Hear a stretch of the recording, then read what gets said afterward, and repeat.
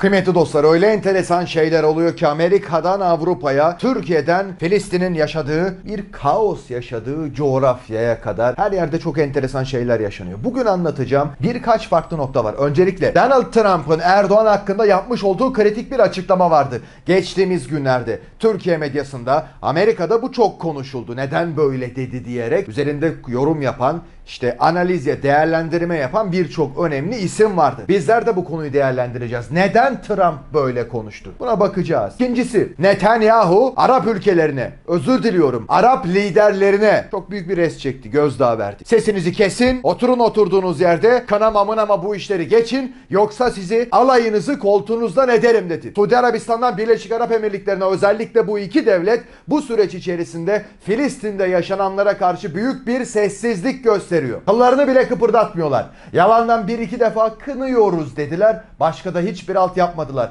Neden? Buna bakacağız. Nasıl bu kadar cüretkar bir şekilde kaç milyonluk bir ülke bu ülkeleri nasıl böyle tehdit edebiliyor? Nasıl iplerini, tasmalarının ipini ellerinde tutuyor? Buna bakacağız. Bir de Almanya'da Olaf Scholz çok enteresan bir çıkış yaptı. Gerçekten yürekleri dağlayan bir açıklamaydı bu. Çok önemliydi. Dünyanın nasıl bir yer haline geldiğini anlamak açısından çok önemliydi. Ateşkes yapılmaması gerektiğini söyledi. Yoksa Filistin'in kaybettiği toprakları geri alabileceğini dile getirdi. Çok enteresandı. Bunlardan bahsedeceğiz ama gelin Trump'ın Cumhurbaşkanı Erdoğan'la ilgili yapmış olduğu açıklamaya bakalım. Diyor ki Trump, Orta Doğu'da 4-5 milyonluk ordusu olan ülkeler var. Geçtiğimiz gün Erdoğan İsrail'e karşı çok sert konuştu.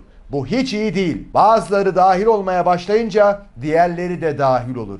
Ve sonunda dünya savaşı çıkar açıklamasında bulunuyor. Trump şunu dile getiriyor. Bakın bu bölgede Türkiye gibi çok büyük kalabalık orduları olan çok güçlü silah sistemleri bulunan ülkeler var. Eğer ki biri bir müdahale gerçekleştirir yani Türkiye işaret ediyor. Çünkü Amerika'da en çok dikkat edilmesi gereken ülke olarak Amerikalı uzmanlar ve bir takım siyasetçiler, bürokratlar Türkiye'yi hedef almakta. İsrail'i devamlı Türkiye hususunda uyarmakta.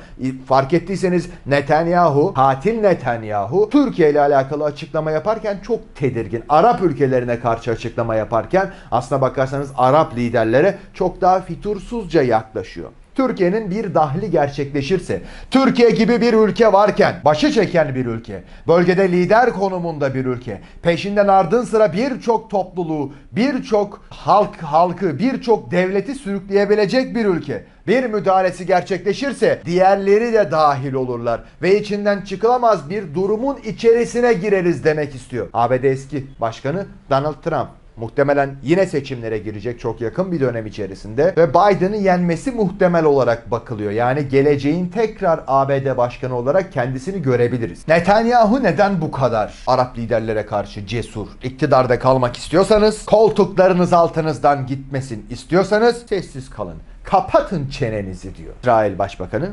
katil İsrail'in katil başbakanı Olaf Scholz. Aa, özür diliyorum. Şimdi Almanya'yı da anlatacağım ya. Bir karışıklık oldu. Zaten bunlar birbirinin laciverti olduğu için çok da bir fark yok. Almanya gerçekten insanlığın içine yara olacak bir adım attı. Tarih gösteriyor ki kimse değişmiyor. İyi tarafı şu ki değişmeyenlerden biri de Türkler. İsrail'in Gazze'ye yönelik saldırıları küresel gündemde konuşuluyor.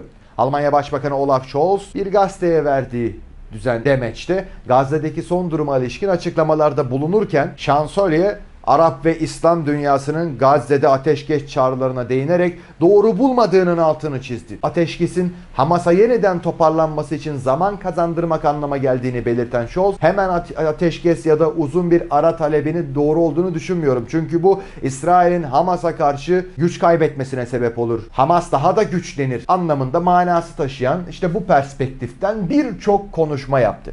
Bakın kıymetli dostlar. Bu insanların orada ölen çocuklardan ya haberleri yok ya da umurlarında değil. Bu ruhsuzluk neden? Hangi milletten, hangi devletten, hangi halktan, hangi etnik kökenden olduğun umurumda değil. Umurumda değil. İnsan hayatı. Çocukların hayatı. Bakın orada savaşçılar yok. Savaşçılar zaten yeraltı tünellerinde. Bilinçli olarak İsrail o bölgede sivil halkı bombalıyor. O çocuklar büyüyüp de gelip karşıma çıkmasın düşüncesiyle bu kadar akıl almaz bir mantıkla vahşice bir katliam gerçekleşti. Ve dünyanın çeşitli kentlerinden bakın Almanya'da mesela Olaf Scholz'un başında olduğu ülkeden bahsediyor. Almanya'da Alman halkı da İsrail'in yapmış olduğu hareketlerden, hamlelerden müzdarip, rahatsızlar. İsrail'in yaptığı katliama Almanya sokaklarında da dur diyorlar. Evet bugün Amerika sokaklarında da benzerini görüyoruz. Bugün İngiltere'de İçişleri Bakanı Filistin'i savunmak adına yapılan yürüyüşlere katillerimi destekliyorsunuz benzeri bir açıklama yaptığı için görevden alındı. Bakın size yani artık bütün işiniz çıkar, bütün işiniz menfaat olmuş ya. Şunu söylüyorum. Bu kafayla giderseniz hiçbir seçim kazanamazsınız. Yıl 1799. Napolyon. O dönemde Osmanlı himayesinde olan Filistin'de bir Yahudi devleti kurmak için teklifte bulundu. Reddedildi. 100 yıl sonra İsviçre'de 1. Siyonizm Kongresi kongresinde bu fikir tekrar ortaya atıldı. Avrupa'dan Filistin'e yavaş da olsa Yahudi göçü başladı. 20 yıl içinde 40 bin Yahudi Filistin'e yerleşti. 500 bin Filistinlinin arasında yaşanan bu Yahudiler Rothschild'ın desteğiyle Yahudi Devleti projesinin öncüleriydi. 1920'de Milletler Cemiyeti Filistin'i İngiltere'nin mandası olarak kabul etti. 1922'de Filistin'deki Yahudi nüfusu %11 oranlarını buluyordu. 15 yıl içerisinde bölgeye 300 bin Yahudi daha göç etti. Ve bu artan Yahudi nüfusu 1929 yılında çok kısa bir zaman sonra Filistin'de kanlı çatışmalara yol açtı. İkinci Dünya Savaşı sonrası İngiltere Filistin'den çekilince Tel Aviv'de toplanan Yahudi Milli Konseyi İsrail Devleti'nin kuruluşunu ilan etti. Başta ABD ve Rusya tüm dünya İsrail Devleti'ni tanırken Arap devletleri karşı çıktı ve kısa sürede Arap-İsrail savaşları başladı. Çok enteresandır. Bir tiyatro mudur değil midir üzerinde düşünmek lazım. Yeni kurulmuş sadece 4 yani yeni kurulmuş sadece 70 5000 kişilik ordusu olan İsrail, Mısır, Suriye, Lübnan, Ürdün, Irak bunlarla bir yıl savaştı alayını cephede yendi. Sahadaki başarısını masada da onlara dayattı. Bu savaştan sonra Filistin topraklarının dörtte üçüne ve Kudüs'ün yarısına hakim oldu. O gün bugündür zulüm devam ediyor. İsrail zulüm ederek, öldürerek, yıldırarak Filistinleri göçe zorluyor. Kabul etmeyip vatanını savunanlara da terörist diyor, bombalarla üzerlerine yağıyor.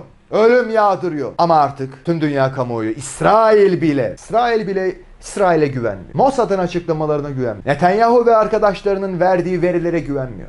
İsrail'de şunu diyorlar ya. Billy Cohen, savaş muhabiri. Bizler savaşa dair bilgi almak için Ebu Ubeyde'nin açıklamalarını bekliyoruz. İsrail ordusuna, basın servislerine güvenmiyoruz diyor ya. Bunu İsrail'de İsrailliler söylüyor. Acilen tüm dünyanın aklını başına alması lazım. Yoksa eski ABD Başkanı Donald Trump'ın söylediği gibi 4-5 milyonluk ordular nereye gireceğini bilirler ve ardından gelenlerle birlikte bir 3.